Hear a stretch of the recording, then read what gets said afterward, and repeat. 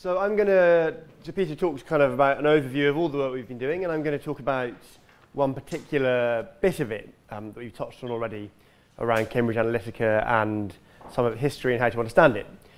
Um, and for me, this starts um, when we were investigating uh, that donation from Vote Leave to Darren Grimes that Peter talked about.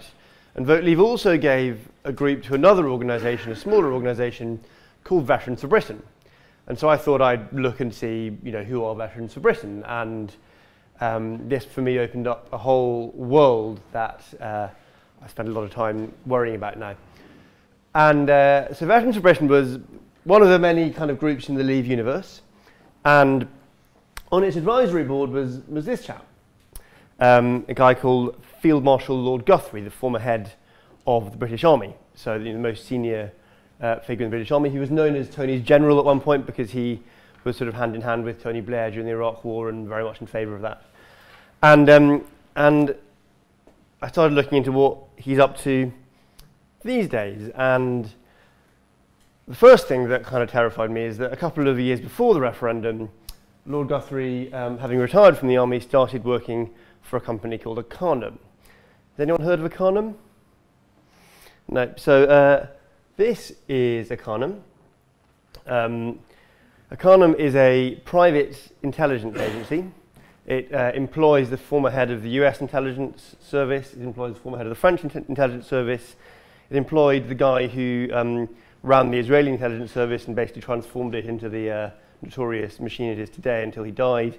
And it employed the former head of employs the former head of the British army, and they um, do intelligence work for sovereign governments and global multinational corporations. How much else they do, we have no idea, but the fact that they're able to attract the most senior figures in the intelligence world implies that they are pretty good at what they do.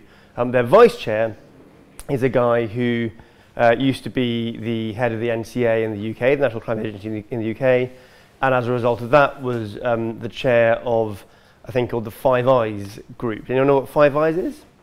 So, so Five Eyes is the uh, collaboration between GCHQ in the UK, the NSA, and the kind of surveillance groups for Australia and New Zealand and whatever.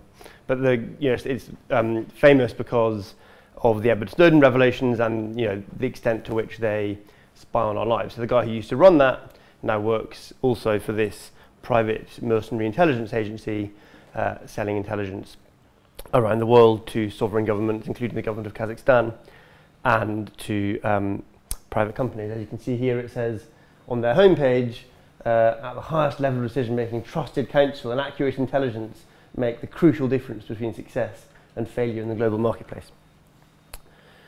Um, Lord Guthrie is a lord, so that means he's a member of the House of Lords and therefore has to declare his interests.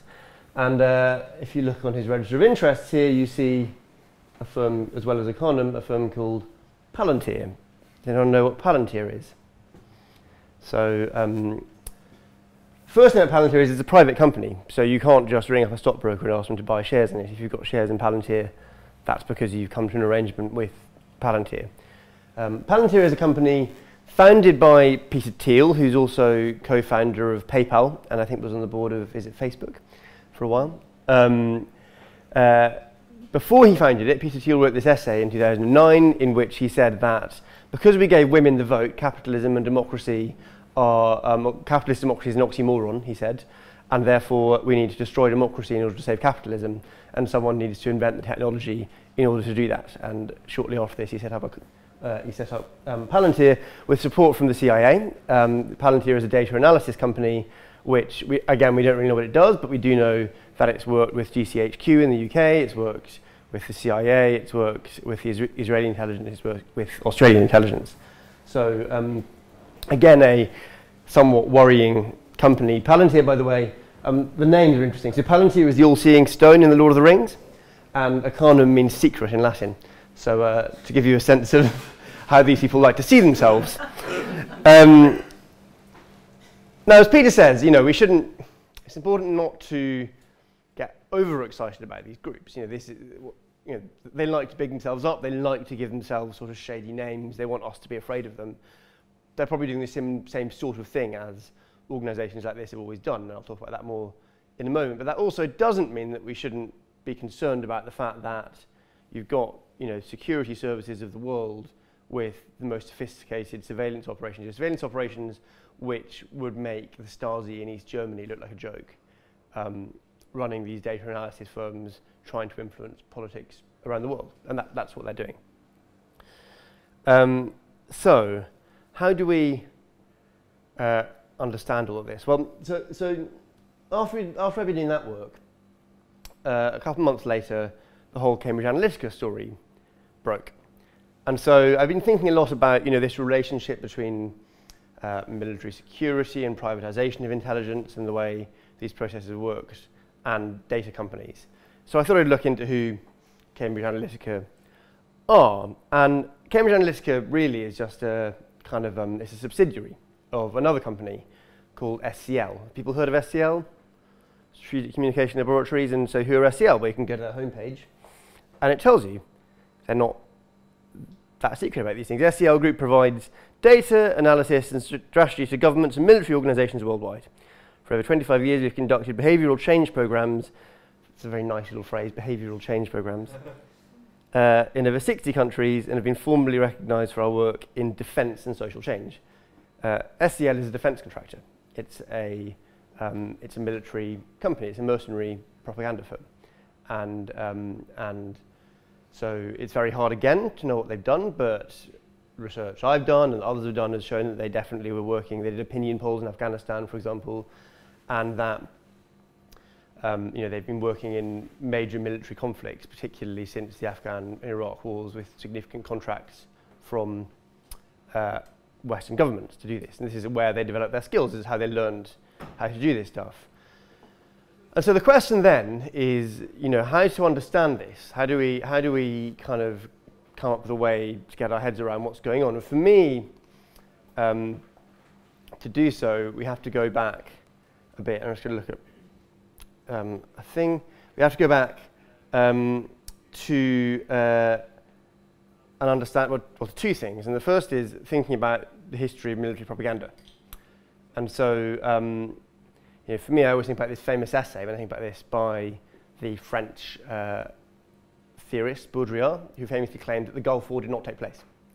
And what he meant by that was not that you know, wasn't a war in the early 90s in the Gulf, but that the relationship between our experience on watching on telly what happened and the reality of what happened on the ground is so great that you can't call them the same thing. So if the Gulf War is the thing that people saw on telly, then it's going to have a different name from the reality on the ground, which is just a decimation of Iraq. And that ties into a long history, um, and I think it's important to think that through to understand how communications technology has changed. So, people seen the film Citizen Kane?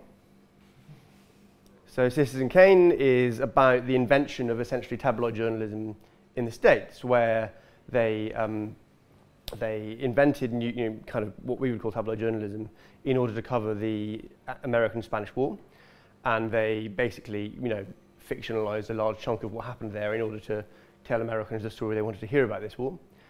Um, and that was how war was generally covered, you know, long, for a long time until the Tet Offensive in Vietnam, um, which was seen as a huge military and strategic defeat for America. And the point at which the Vietnam War was essentially lost, they, the American military believed, was when they lost the propaganda war at home around the Tet Offensive. So the, um, the you know, because the way that American journalists had been free to cover what had happened, the defeat of American forces on that day, there was a huge drop in morale at home and then loss of support for the war, and as a result, ultimately America lost the Vietnam War.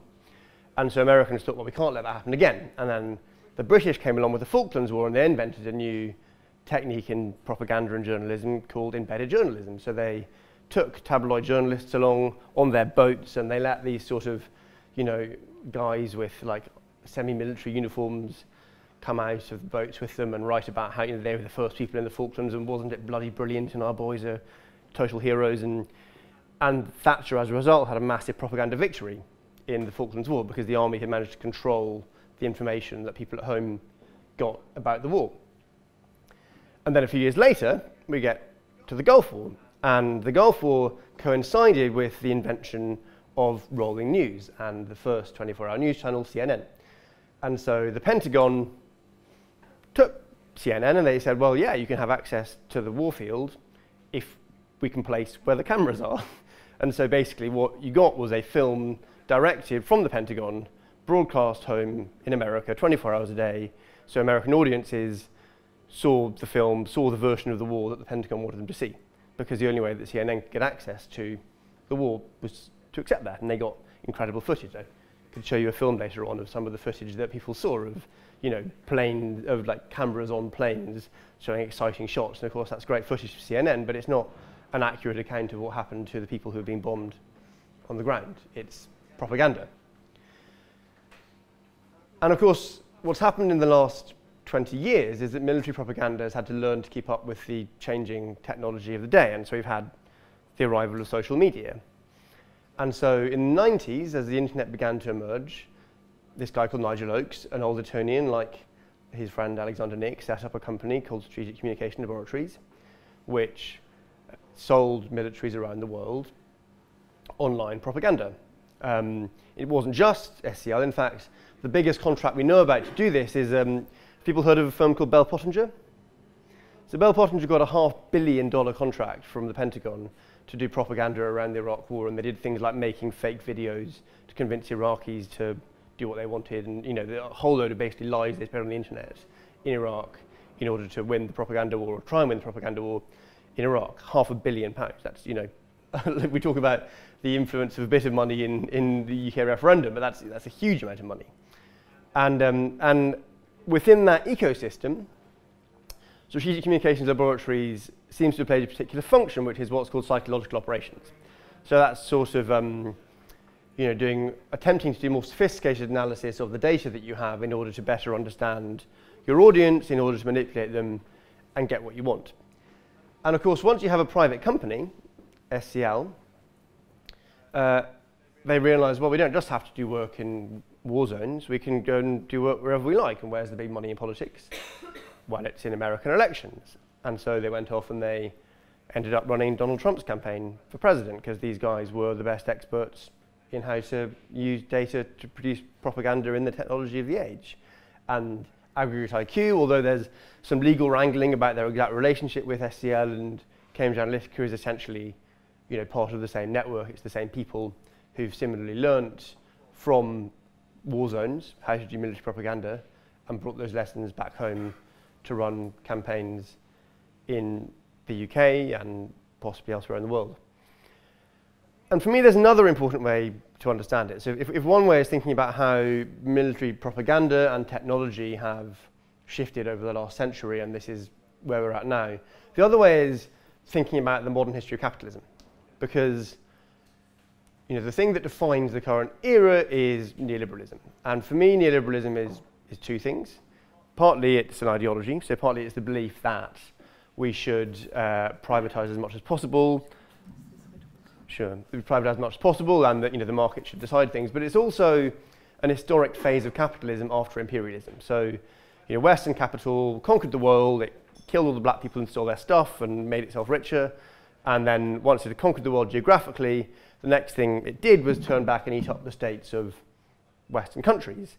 And so we see the privatization of the NHS, you see the privatization of education systems, and we've now got to the point that the core functions of the state, the monopoly on violence, and um, in fact also the civil service, crucially, are being more privatized than ever. And so it's not just propaganda that's been privatized. So um, I've got the figures here, but in 2003, at the start of the Iraq War, the um, the total Foreign Office uh, bill for outsourcing um, security work was just 12 million pounds.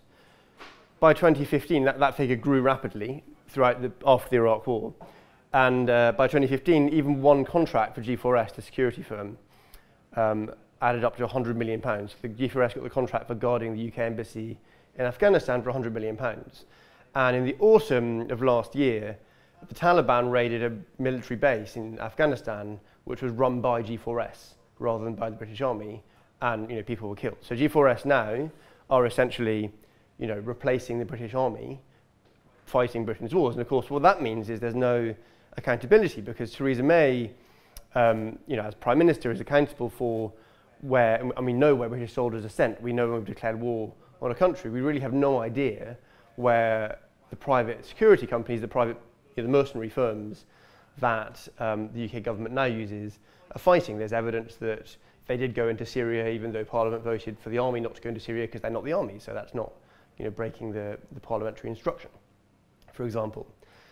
And so, um, you know, for me to understand the Cambridge Analytica story, you need to understand that in the last 20 years, we've seen the mass privatization of the military alongside other key functions of the state in the UK. The UK is the world centre for mercenary companies. It's, there's two industries that the UK leads the world in, money laundering and mercenaries. And, um, and those are the two industries primarily which backed Brexit, by the way. Um, and you know, to understand Cambridge Analytica, you have to understand it's just the, it's the psychological operations wing of our new privatised military.